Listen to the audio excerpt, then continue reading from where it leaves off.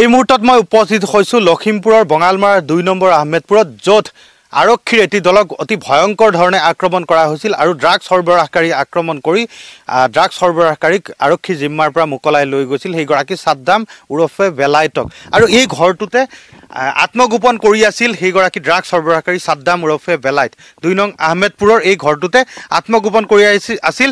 অসামৰিক পোছাকত আহিছিল আৰক্ষীৰ দলটো লালুক আৰক্ষীৰ এটি দল আহিছিল আৰু তেওঁলোকে নিৰ্দিষ্ট এক তথ্য লাভ কৰিছিল যে এইগৰাকী বেলাইট ওৰফে চাদ্দামৰ হাতত ড্ৰাগছ আছে। আৰক্ষীয়ে আৰু সেই তথ্য লাভ কৰি ইয়াতে অভিযান চলাইছিল আৰু সেইগৰাকী বেলাইটক আৰক্ষীয়ে ধৰিবৰ কাৰণে সক্ষম হৈছিল। আৰু তেনে মুহূৰ্ততে এই পৰিয়ালটোৰ লোকসকলে তেওঁলোকে আৰক্ষীক খেদি আহে। আৰু চাদ্দামে আৰক্ষীক কামুৰি ই হাতত কামুৰি ইয়াৰ পৰা পলায়ন কৰে। আৰু এই ঘৰটো এতিয়া এক প্ৰকাৰ খালী হৈ আছে। আৰক্ষীয়ে তাৰ পৰৱৰ্তী সময়ত নিশাৰ ভাগত আৰক্ষীয়ে অভিযান চলাইছে। অভিযান চলাই এই গাঁওখনৰ বহু লোকক আটক কৰি লৈ গৈছে। প্ৰায় অৰ্ধ শতাধিক লোকক আটক কৰি আৰক্ষীয়ে লৈ গৈছে। লখিমপুৰৰ বিভিন্ন প্ৰান্তৰ থানা বঙালমৰা আৰক্ষী চকী বিহপুৰীয়া থানা লালুক থানা বান্দৰদেৱা শিমলুগুৰি ধলপুৰলৈকে আৰক্ষী চকীসমূহত এই সেইসকলক ৰখা হৈছে। আৰু যিগৰাকী চাদ্দাম ওৰফে বেলাইট। বেলাইটৰ প্ৰকৃত ঘৰটো হৈছে কেমেৰা লেন্সে যদি ঢুকি পাই দেখুৱাইছোঁ। এইটোৱে ইয়াৰ প্ৰকৃত ঘৰ। আৰু তেওঁলোকৰ আত্মীয়ৰ ঘৰ পৰিয়ালৰ ঘৰ এইসমূহ। আৰু এইসমূহত থাকি তেওঁলোকে ড্ৰাগছৰ এখন মুকলি সাম্ৰাজ্য তেওঁলোকে চলাই গৈছিল। আৰু ড্ৰাগছৰ মুকলি বেহা চলাই অঞ্চলটোৰ যি সামাজিক শৈক্ষিক পৰিৱেশ আছে সম্পূৰ্ণৰূপে বিনষ্ট কৰি পেলাইছে।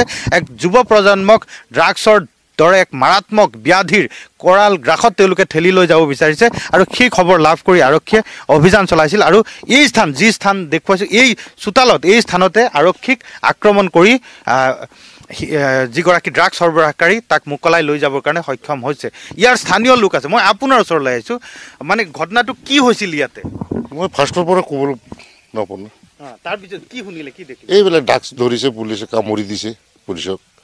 পিছত পুলিচে ৰাতিপুৱা একদম পূৰা আহি পাই গ'লে ইয়াত ইয়াৰ গোটেই সাতটা আঠটা ই লৈ গ'ল ড্ৰাগছ পেকেট সাতটা আঠটা দহটা লৈ গ'ল ইয়াৰ পৰা আৰু বস্তিৰ মানুহ চব লৈ গ'ল ধৰি কোনো নাজানে এইবিলাক কি খেল। যিটো ল'ৰাক ধৰিব আহিছিল তাৰ কি নাম?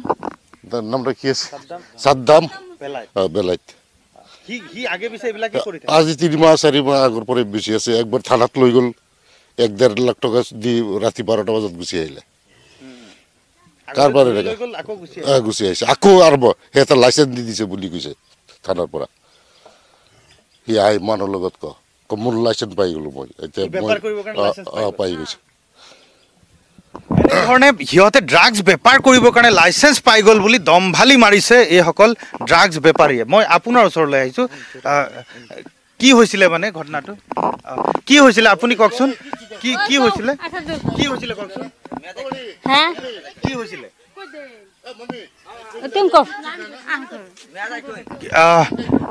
কি হৈছিলে? কি হৈছিলে হেৰি আজি ছমাহ হৈ গ'ল। সিহঁতি এনেকুৱা কাৰবাৰ কৰি থাকে। সিহঁতি মানে মানুহ হেৰি ৰাইজৰ মানুহক ক'লে সিহঁতি নামানে। সিহঁতি কৰিবই। ৰাইজৰ মানুহক ক'লে ৰাইজৰ মানুহক গালি পাৰে। ৰাইজৰ মানুহক হাৰাশাস্তি কৰিব বিচাৰে। সেইকাৰণে ৰাইজৰ মানুহে হেৰি তাক একো নকয়। ৰাইজৰ মানুহে ক'ব গ'লে আৰু তাই গালি পাৰে তাই মানে হেৰি ধমকি দিয়ে। কালি কি হৈছিলে ইয়াতে? মাৰপিটটো কালি মানে? হেৰি দুটা ল'ৰা আহিছিলে ড্ৰাগছ কিনিবলৈ। তাৰ তাৰপিছত হেৰি দুটা ল'ৰাক সেই পুলিচে ধৰিলে ধৰি কৈছে বোলে এতিয়া ক'ত ড্ৰাগছ বেপাৰ কৰি আছে? তাৰপিছত কৈছে হেৰি দুই নং আহমদত আহমদপুৰত ড্ৰাগছ বেপাৰ কৰি আছে। তাৰপিছত কৈছে মোক লৈ যা। তাৰপিছত কৈছে যে মোক লৈ যা। তাৰপিছত হেৰি আৰক্ষী তিনিজন আহিলে হেৰি চিভিল ড্ৰেছত অঁ চিভিল ড্ৰেছত আহিলে। আহি তাৰপিছত হেৰি ড্ৰাগছ কিনিবলৈ আহিছিলে। তাৰপিছত ড্ৰাগছ কিনি হেৰি কিবা টকাটকি লাগি মাৰপিট কৰিলে। মাৰপিট কৰি তাৰপিছত হেৰি হেৰি কামুৰিলে আৰু অঁ পুলিচক কামুৰিলে। তাৰপিছত মানে হেৰি সেই মানুহটোক বচাবৰ কাৰণে পুলিচক কামুৰি তাৰপিছত মানুহটোক বচাই মাইকী মানুহে দুটাই কামুৰিছে আৰু হেৰি মোটা মানুহ আছিলে। অঁ দা লাঠি লৈ ওলাই ওলা- ওলাইছিলে। এনেধৰণে মুকলিকৈ এতিয়া ড্ৰাগছ সৰবৰাহকাৰী আৰক্ষীক মাৰপিট কৰিবৰ কাৰণে দুঃসাহস কৰিছে।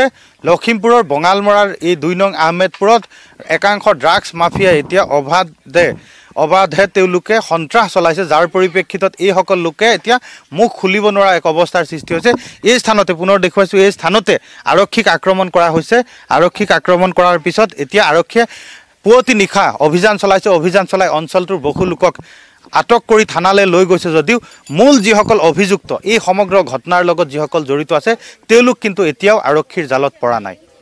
মই দেখিছোঁ মই কালি ইয়াত আহিছিলোঁ। আহি পেলাই দেখিছোঁ গাড়ী এটা আছে ইয়াত মানে হুলস্থুলত মই পাইছোঁ আহি।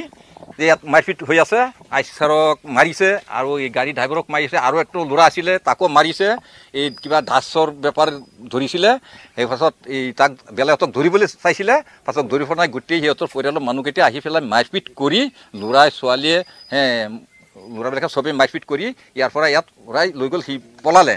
পলালে তাৰপিছত এই গাড়ী চাড়ী কৈছে ঢাল লৈ ইয়াত কোবাই দিম কোবাই কাটি দিম ঘাৰি ভাং হে এনেকুৱা সিহঁতে হুলস্থুল কৰিছে পাছত কৰি পেলাই এইটো সি বেলেগত পলালে তাৰপিছত গ'লগৈ। মই ইয়াতে নিজে ৰৈ আছিলোঁ। পুলিচ? চিভিল দুইজনহে দেখিছোঁ মই ডাগতে তিনিজন হা দুইজন আছিলে। আছিলে। সেই ল'ৰাটোক মাতিলে মই কৈ দিলোঁ মানে আগৰ পৰা কেইদিন আগত ধৰি নিছিলে কিন্তু মই নাজানো বেপাৰ মানে কি কৰে কেইদিন আগত ধৰি নিছিলে থানা তাৰপাছত থানাৰ পৰা সেনেকৈ মানে আকৌ তাৰ পৰা এৰি দিলে। এৰি দিলে কিন্তু ভাল হৈ গ'ল মই এইবিলাক খবৰ খাতি নলওঁ দৰকাৰ নাই মোৰ এইবিলাক নকৰোঁ। তাৰ পাছত আকৌ এদিন কালি আকৌহে গম পাইছোঁ যে এই বেপাৰ কৰি কালি কালি দাস ইয়াত ধৰাও পৰিলে বোলে নিলে এই পুলিচে উঠাই পেলাই। হে কৰি নকৰিলে ক'ত পাবনো নহ'লে আমাকতো নধৰে নহয়। হা? ইয়াৰ পৰা এতিয়া গোটেই বস্তিৰ মানুহ পুলিচে উঠাই নিছে। বস্তিৰ মানুহকেইটা গোটেই পুলিচে উঠাই গ'ল কিন্তু যিবিলাকে কাম কৰিছে সেইবিলাকক উঠাই নিব পৰা নাই একটা পোৱা নাই। কিন্তু এই বাহিৰা মানুহকেইটাই অদৰকাৰী মানুহবিলাক উঠাই লৈ গ'ল পুলিচে। আক্ৰমণ কৰাবিলাক একজনকো পোৱা নাই। একজনকো নিয়া নাই। সেইটো গোটেই সিহঁতৰ পৰিয়াল কেতিয়া মানুহকেইটা আক্ৰমণ কৰিছে ইয়াত? মই ইয়াতে আছিলোঁ।